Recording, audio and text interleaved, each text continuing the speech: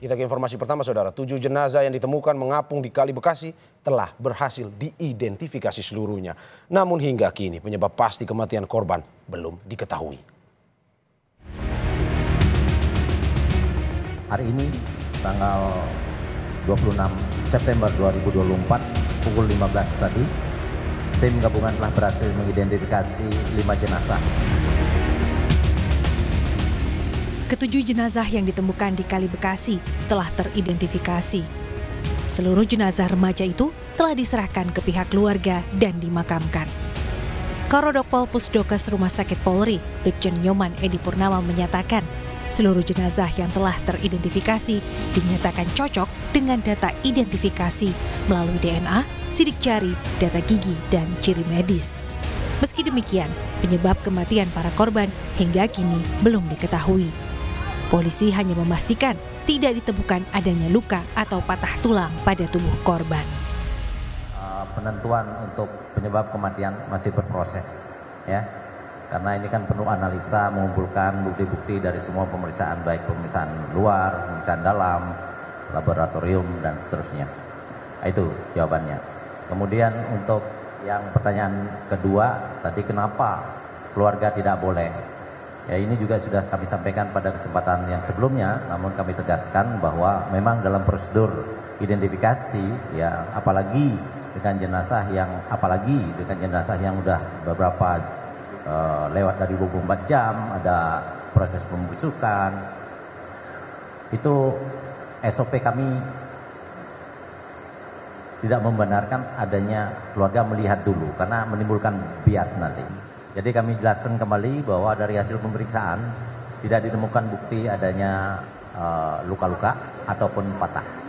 Demikian. Ya. Buntut penemuan tujuh jenazah di Kali Bekasi, sebanyak 17 polisi diperiksa perihal pembubaran massa yang diduga hendak tawuran. Kadif Propam Polri Irjen Abdul Karim mengatakan, dalam asistensi itu pihaknya akan melibatkan pihak eksternal demi transparansi dalam penanganan kasus. Menurut Abdul Karim, apabila nantinya ada pelanggaran prosedural dalam patroli yang dilakukan, ia memastikan bakal menindak tegas polisi tersebut. Uh, prinsipnya kita memberikan asistensi bahwa dalam penanganan kasus ini harus melibatkan pihak eksternal supaya terbuka, transparan, dan objektif. Jangan hanya dari internal kita saja, itu yang saya dorong. Ya, libatkan masyarakat, libatkan Kompolnas, IPW ataupun lembaga LBH lainnya. Kita buka semuanya. Apabila kita temukan di situ ada pelanggaran yang dilakukan oleh anggota, kita tidak tegas.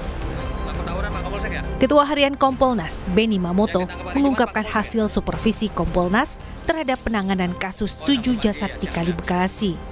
Ia menyatakan pihak kepolisian telah bekerja sesuai prosedur.